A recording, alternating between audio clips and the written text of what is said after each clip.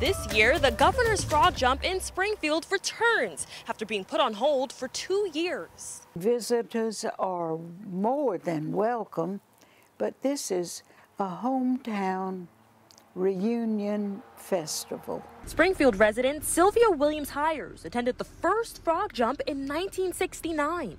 The competition brings frog jockeys from across the country to compete for the fastest and farthest jumping frogs.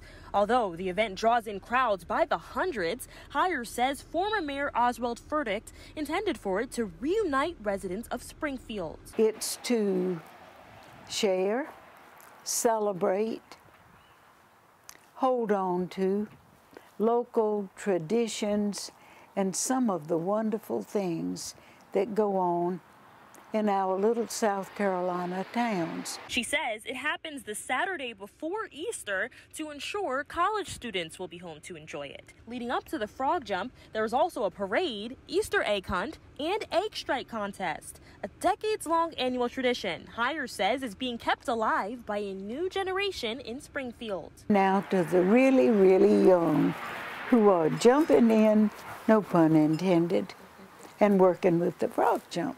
Mayor Furtick says the grand prize winner of this year's frog jump gets a tremendous trophy. The frog jump contest begins at 2.30 p.m. on Saturday. For Street Squad Orangeburg, Nija Hood, News 19 WLTX.